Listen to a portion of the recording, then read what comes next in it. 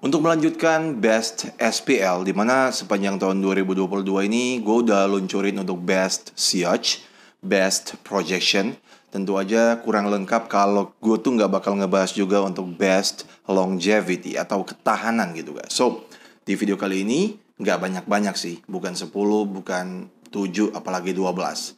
Gue tuh coba bakal nge-mention 5 buah parfum yang gue tuh merasakan setiap kali gue tuh pakai parfum ini gitu guys sepanjang tahun 2022 yang sangat works banget di kulit gue terutama dari sisi atau sudut pandang ketahanan gitu guys. Dia tuh bisa bertahan lama banget. So bagi kalian yang penasaran dan pengen dapetin info kira-kira parfum apa yang ketahanannya tuh bagus gitu tentu aja dengan disclaimer nanti. Check this out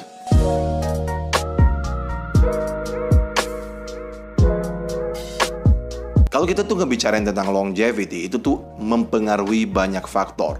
Seperti contohnya nih, chemistry kulit kita masing-masing. Beda kulit, beda kelembapan kulit, tentu aja hasilnya tuh bakal berbeda gitu guys.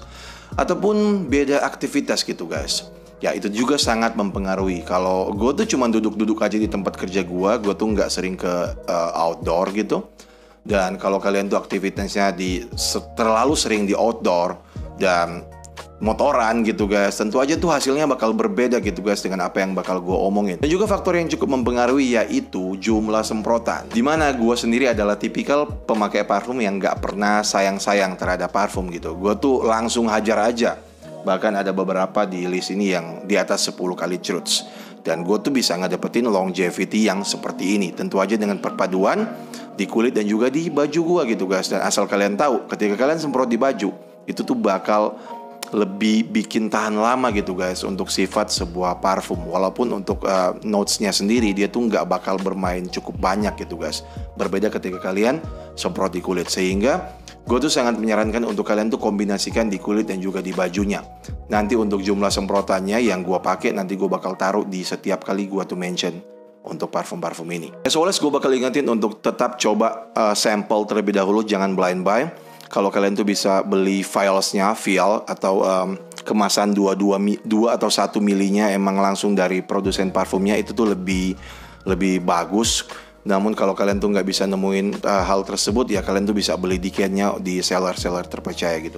So gue akan langsung mulai aja dari yang pertama yang sangat-sangat bagus banget di kulit gue tentu aja favorit gue gitu guys. This is Salvatore Ferragamo Intense Leather Tentu aja dari kualitas wanginya, gue tuh nggak bakal bicarakan panjang lebar lagi. Ini tuh sering banget gue mention. Salah satu favorit gue, kalau bukan yang terbaik sih untuk uh, keluaran parfum di atas tahun 2020 kemarin-kemarin gitu guys. Walaupun judulnya sendiri tuh agak kurang um, apa ya, gue bakal bilang kurang kena karena dari judulnya intense leather gue tuh nggak bisa dapetin ini tuh wangi leather yang intense karena dia tuh di padukan dengan beberapa unsur notes yang berbeda seperti contohnya nih ada earthy nuance, ada uh, apple, ada sedikit spicy dan leathernya tuh di blend dengan cukup uh, apa ya cukup sama rata gitu guys dia tuh nggak muncul sendiri gitu guys walaupun tetap lo bakal dapetin suasana leathernya yang emang kerasa um, prominent. Namun yang bakal gue highlight di sini yaitu untuk ketahanannya sendiri. Ini tuh bisa bertahan di kulit gue 7 jam plus dengan jumlah semprotan sih di atas 10 kali truths. Ini tuh bisa kalian gunakan di mana pun kapan pun sangat-sangat versatile dan bisa ngedapetin 7 plus di kulit gue gitu guys. Ini tuh tentu aja harus gue masukin dalam list gue kali ini. Ini tuh keren banget menurut gue.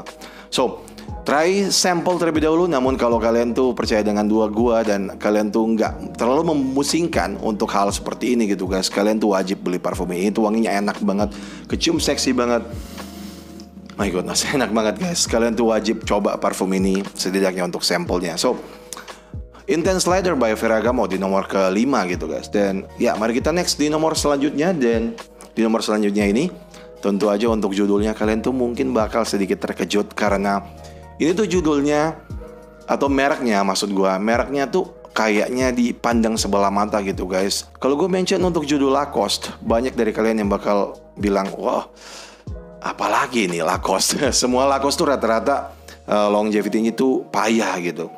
Dan ternyata ada yang longevity-nya tuh bagus, khususnya di kulit gua.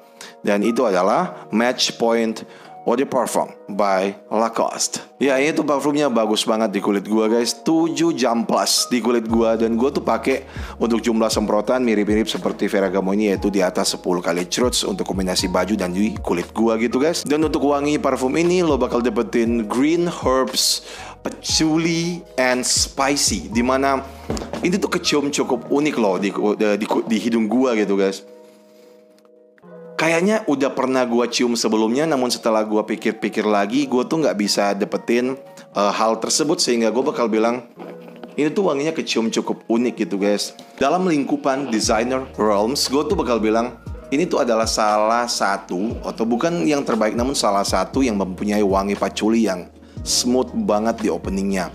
Dan wangi patchoulinya ini tuh kerasa sedikit green dan juga earthy gitu guys. Sehingga kalau kalian tuh emang sedang mencari signature scent, parfum yang men menciri khas jati diri kalian gitu guys. Gue tuh bakal saranin kalian untuk coba parfum ini karena lo nggak bakal nyesel. Ini tuh wanginya tuh kecium loh banget gitu guys. Ketika orang lain nyium, mereka tuh bakal tahu kalau lo lagi berada di dekat mereka gitu guys. Match point of the parfum. Ketanya itu bagus banget. Gue suka banget parfum ini guys. Mungkin untuk kantoran dengan kemeja atau dengan uh, apa ya kaos kerak gitu guys ini tuh cocok banget untuk kalian padu padankan. So, mari kita next. Dan di parfum berikutnya, oh ini juga keren banget. Gue suka banget dengan parfum ini. Itu DNA-nya adalah salah satu DNA yang paling gue suka. Namun dia tuh lebih menekankan vetiver untuk di parfum ini gitu guys. Dan justru di hidung gue jadi cakep banget dah. so, ini adalah Terre de Hermes Eau Intense Vetiver. Eau Intense Vetiver dari Terre de Hermes ini adalah sebuah DNA yang bukan baru-baru banget karena kalau kalian tuh udah familiar dengan Terre d'Hermes, the original de Toilette, tentu aja kalian tuh bakal familiar banget juga dengan uh, wangi dari Eau Intense Vetiver ini. Namun yang seperti yang gue bilang tadi guys, oke, okay, kalau yang di kalau yang di Terre d'Hermes the original itu tuh lo bakal dapetin citrus atau jeruk yang kerasa pahit gitu guys dan itu tuh sangat love for hate di hidung orang-orang justru untuk Owen dan Vetiver ini guys itu tuh nggak ada men. Namun diganti dengan balutan dari smoky earthy nuance vetiver yang kerasa upper class banget gitu guys. Bagi kalian yang uh, kantoran kalian yang uh, jas dan dasi pengen ngedepetin suatu momen yang uh, begitu berharga dan gak bakal terlupakan dalam hidup kalian. Contohnya kalian tuh mau kawinan gitu, kalian ya jadi pengantinnya of course. Ini tuh bisa dijadikan pilihan karena dia tuh kecium classy dan juga elegan banget.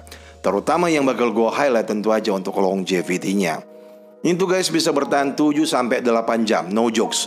Namun gue tuh semprotnya ya seperti biasa, sedikit brutal sih. 10 sampai 15 kali struts. Dan gue tuh bisa dapetin 7 sampai 8 jam plus.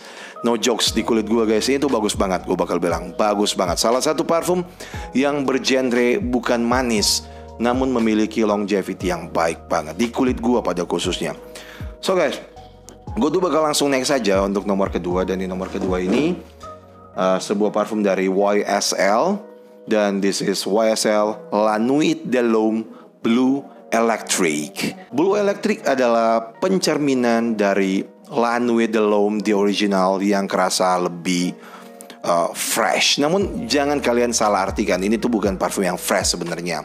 Namun ini tuh dibuat lebih light gitu guys, sehingga di hidung orang yang emang udah terbiasa dengan yang namanya wangi La Nuit de l'Homme, ini tuh bakal kerasa lebih versatile. Bahkan bisa digunakan di siang hari asalkan di ruangan ber-AC gitu guys.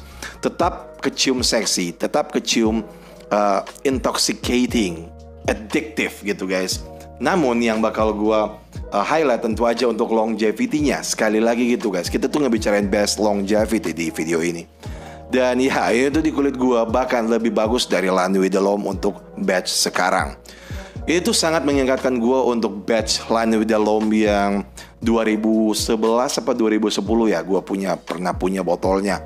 Dan ya longevity-nya tuh mirip banget. Lo bakal dapetin 7 sampai 8 kali 7 sampai 8 jam maksud gua. Untuk penyemprotannya sih gue pakai parfum ini di atas 5 kali cuts di bawah 8. Di atas 5 kali di bawah 10 kali cuts. Dan gue tuh bisa ngedapetin ya 7 sampai 8 jam. Dan di mana menurut gue itu tuh bagus banget gitu guys oke? Okay? satu kekurangan dari parfum ini mungkin agak kurang atau agak susah dicari. Namun kalau kalian tuh um, punya effort lebih tentu aja kalian tuh bakal uh, dapetin parfum ini. Karena itu parfum yang lumayan cukup baru. Dan of course lo bakal suka dengan wanginya cewek-cewek tuh bakal suka dengan wanginya. Bagi kalian anak baru dalam dunia parfum dan sering mendengar Lanu With The Lom adalah best sexy fragrance in the world namun kalian tuh udah nggak bisa dapetin lagi uh, produknya khususnya untuk batch lama. Kalian bisa coba Blue Electric ini guys. Sekali lagi Blue Electric bukan O Electric karena barangnya tuh beda gitu guys. Blue Electric by Lana Delom YSL so gue tuh bakal langsung next di nomor pertama. Ini tuh guys gila banget. Oke okay? 12 jam plus. Dan juga barang baru nih guys. Ini tuh masih hot. Dan ini tuh baru gua beli baru berapa ya 7-8 hari dan gue udah coba pakai parfum ini 3 hari. My god. 12 jam plus dan gue tuh nggak bohong.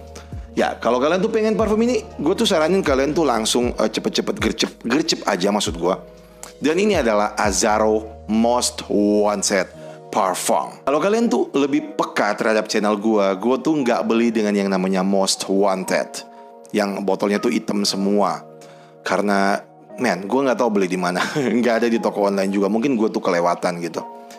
Um, namun untuk kasus untuk yang namanya parfum ini tuh adalah most wanted yang versi pure parfum. Man ini tuh enak banget wanginya tuh enak banget. Gue tuh bakal bilang ini adalah perpaduan dari Azaro Wanted by Night untuk scent dari fruity tobacco tobacco cinnamonnya gitu guys.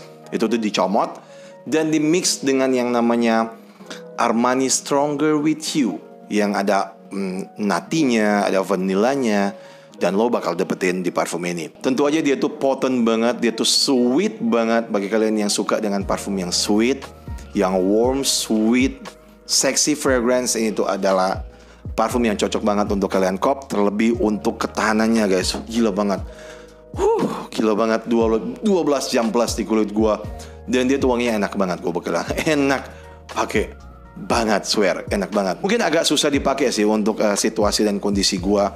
But ya aktivitas gua tuh nggak jauh-jauh di dalam ruangan walaupun nggak pakai AC dan itu tuh masih tetap cukup uh, bekerja dengan baik gitu guys. Sehingga gue tuh pakai parfum ini gue tuh nggak terganggu gue tuh nggak merasa glowing dan itulah sebabnya dengan percaya diri gue tuh taruh parfum ini di nomor pertama gitu guys.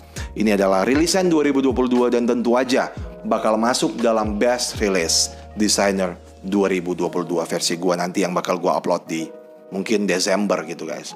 So, inilah dia 5 buah parfum Best Longevity 2022 versi gua. Silahkan tulis di kolom komentar jika kalian punya tambahan yang lain. Dan semoga kalian terbantu dengan video ini. And as always untuk tetap keep smelling good and ciao.